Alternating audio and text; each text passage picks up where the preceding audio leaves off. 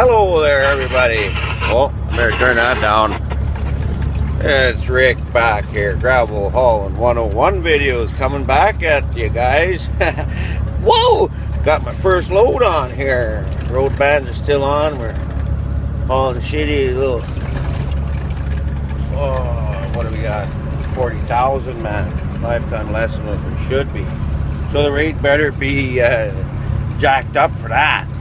Because this road is is effing rough. Like, I sure hope I catch some fish tonight for supper because it'll pay for the roughness because it's sure goddamn beautiful out there, I'll tell you that. Yeah, there's a quick look at the scenery over there. Beautiful country. Just left a kilometer 160 north of Broad. House wasn't too far. But yeah, I got empties coming at me. You guys got a call every 10 kilometers.